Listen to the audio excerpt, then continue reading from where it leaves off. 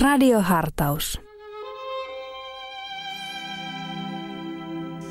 Isän ja pojan ja pyhän hengen nimeen. Minä olen Karilaisin Jarmo ja terveesti jälleen aurinkorannikolta.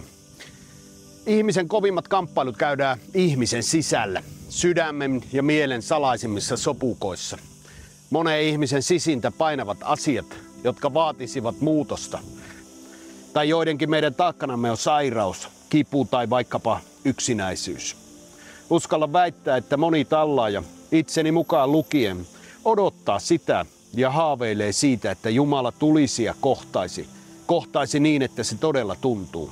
Kohtaisi niin, että elämän huolet, murheet, sairaudet ja kivut voisivat edes hetkeksi väistyä. Ihmisen perustarve on nimittäin tulla kohdatuksi ja huomatuksi. Tätä me kaikki tarvitsemme. Sitä varten myös seurakunnat ovat olemassa.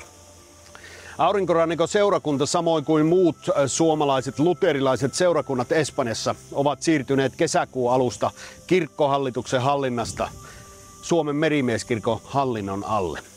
Suomen merimieskirkon perustamiseen lähes 140 vuotta sitten vaikutti suuresti norjalaisen pastorin Sturjuhanin kokemus englantilaisessa sairaalassa.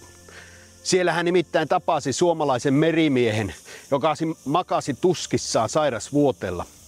Noilla kahdella miehellä ei ollut yhteistä kieltä ja se aiheutti tietysti aikamoisen haasteen papille, kuinka hän voisi lohduttaa tuota tuskaista miestä. Sairaalan seinällä riippui krusifiksi ja tähän ristillä riippuvaan Kristukseen viitaten ja samalla Jeesuksen nimen lausuen pastori Sturjuhan teki työtään. Ja myöhemmin pastori Sturjuhan kirjoittaa, että kun merimies kuuli sanan Jeesus, hän näytti sen ymmärtävän ja sen myötä myös rauhoittuvan. Pastori Sturjuhanille kokemus oli sen verran merkittävä, että hän kertoi kirjeellä tästä kohtaamisesta Suomen silloisen lähetysseuran johtajalle. Hän pyysi lähettämään työntekijä Englantiin, joka voisi palvella myös suomalaisia merimiehiä omalla äidinkielellään. Aika ei kuitenkaan ollut vielä silloin kypsä työntekijän lähettämiseen, mutta siemen merimieslähetysseuran perustamisesta jäi itämään. Muutaman vuoden päästä tästä kohtaamisesta vuonna 1875 merimieskirkko kuitenkin sai alkunsa. Siihen aikaan sillä oli vielä melkoinen nimi, nimittäin merimieskirkon ensimmäinen nimi oli Suomalaisten merimiesten ulkomaan satamissa sielunhoitoyhtiö. Meidän mestarimme oli ja on yhä sielunhoitoyhtiön miehiä. Hän ei koskaan kävellyt niiden ohi, jotka oikeasti odottivat apua. Erään kerran Jerusalemissa kävellessään Jeesus näkee väentungoksessa 38 vuotta halvaantuneena olleen miehen, joka makasi maassa pylväskäytävien suojassa auringon pahteelta piilossa. Paikalla oli muitakin sairaita. Kaikilla heillä oli sama päämäärä, ennättää altaalle, kun vesi kuohahtaa ja tulla terveeksi. Jeesus näki tuon miehen ja tiesi hänen olleen pitkään sairaana. Hän käveli miehen luokse ja kysyi, tahdotko tulla terveeksi?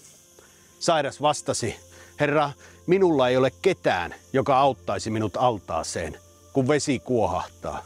Aina kun yritän sinne, joku toinen ehtii ennen minua.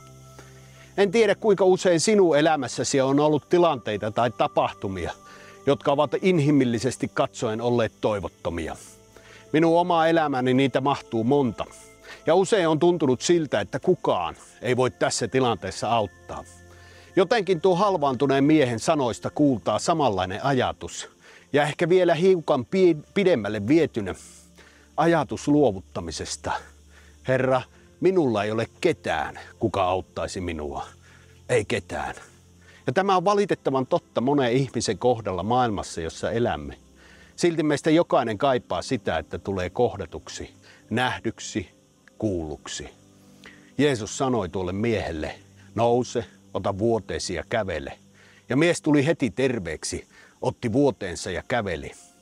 Ja Jeesuksen lausumat sanat saivat aikaa valtavan muutoksen tuon yhden ihmisen elämässä.